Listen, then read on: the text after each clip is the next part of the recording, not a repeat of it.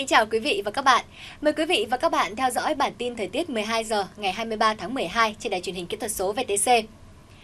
Thưa quý vị, ngày hôm nay thời tiết Bắc Bộ bắt đầu có chuyển biến do tác động của không khí lạnh phía Bắc dồn xuống. Mặc dù cường độ yếu nhưng vẫn khiến cho trời nhiều mây hơn, có mưa xuất hiện cùng với nền nhiệt giảm dần và từ chiều tối nay trời chuyển dần sang trạng thái rét. Dự báo sang ngày mai, toàn khu vực Bắc Bộ sẽ nằm trọn trong khối không khí lạnh. Mưa chỉ còn ở diện vài nơi với nhiệt độ trong ngày sẽ không vượt quá ngưỡng 23 độ tại phía Đông Bắc Bộ và từ 22 tới 25 độ ở phía Tây. Sang đến ngày 25 và ngày 26, khối không khí lạnh này tạm thời suy yếu. Mức nhiệt cao nhất phổ biến từ 23 đến 27 độ. Khu vực Tây Bắc có nơi lên đến 27 đến 28 độ, thậm chí trên 28 độ. Sau đó từ ngày 27 dưới tác động của không khí lạnh tăng cường, nền nhiệt khu vực sẽ lại giảm dần trong từng ngày. Thời tiết thay đổi thất thường ảnh hưởng không nhỏ đến sức khỏe, vì vậy mà quý vị cần chú ý mặc ấm và bổ sung thêm các chất dinh dưỡng để đảm bảo sức khỏe. Lui xuống Trung Bộ do không khí lạnh khuếch tán xuống nên tại Bắc Trung Bộ ngày mai trời xe lạnh, mưa rải rác sẽ xuất hiện. Nền nhiệt cao nhất ngày không vượt quá ngưỡng là từ 23 cho tới 24 độ. Ngày 25 và ngày 26, nền nhiệt cũng nhích nhẹ từ 1 đến 2 độ mỗi ngày, phổ biến là từ 24 đến 26 độ. Trời có nắng, mưa cũng ít khả năng xảy ra. Các khu vực còn lại thuộc Trung và Nam Trung Bộ, 3 ngày tới cùng với hoạt động của không khí lạnh ở phía Bắc, cường độ gió Đông Bắc hoạt động cũng mạnh dần, kết hợp với nhiễu động gió Đông đẩy hơi ẩm từ biển vào đất liền sẽ gây mưa vừa, mưa to cho khu vực các tỉnh từ Quảng Bình đến Thừa Thiên Huế. Sau đó vùng mưa lớn sẽ dịch chuyển dần xuống phía Nam khu vực. Do vậy, người dân cần liên tục cập nhật những thông tin về thời tiết và chủ động ứng phó với đợt mưa sắp tới.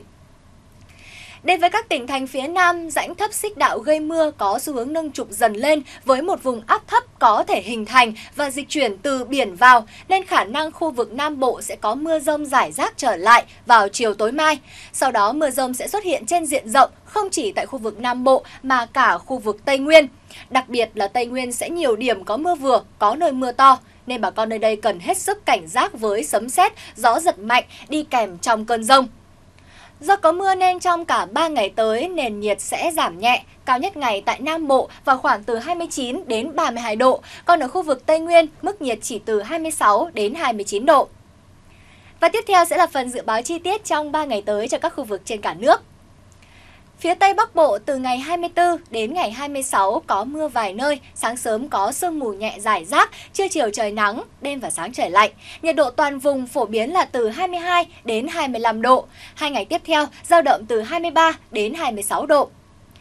Khu vực phía Đông Bắc Bộ trong 3 ngày tới có mưa vài nơi, sáng sớm có sương mù nhẹ rải rác, trưa chiều trời nắng, đêm và sáng trời lạnh. Riêng ngày mai thì trời rét, mức nhiệt từ 20 đến 23 độ, sau đó tăng dần mỗi ngày 1 độ. Khu vực từ Thanh Hóa tới Thừa Thiên Huế, 3 ngày tới có mưa, có nơi mưa to và rông. Sau đó từ ngày 25 thì giảm dần, chỉ còn tại các tỉnh phía Nam từ Quảng Bình đến Thừa Thiên Huế. Nhiệt độ cao nhất ngày mai là từ 23 đến 26 độ, hai ngày tiếp theo tăng nhẹ lên ngưỡng từ 24 đến 27 độ. Khu vực từ Đà Nẵng đến Bình Thuận, ngày 24, ngày 25 có mưa rào và rông rải rác, riêng phía Bắc có mưa vừa, mưa to và rông. Trong cơn rông đề phòng khả năng xảy ra lốc, xét và gió giật mạnh. Nhiệt độ cao nhất là từ 26 đến 29 độ, có nơi 30 độ. Ngày 26 thì có mưa vừa, mưa to trên diện rộng. Nhiệt độ phổ biến là từ 26 đến 29 độ.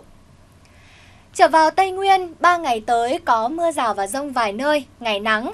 Riêng từ chiều tối ngày 26, mưa có xu hướng tăng nhanh về diện và lượng. Nhiệt độ cao nhất 2 ngày tới phổ biến là từ 27 đến 30 độ, sau giảm nhẹ còn từ 26 cho tới 29 độ.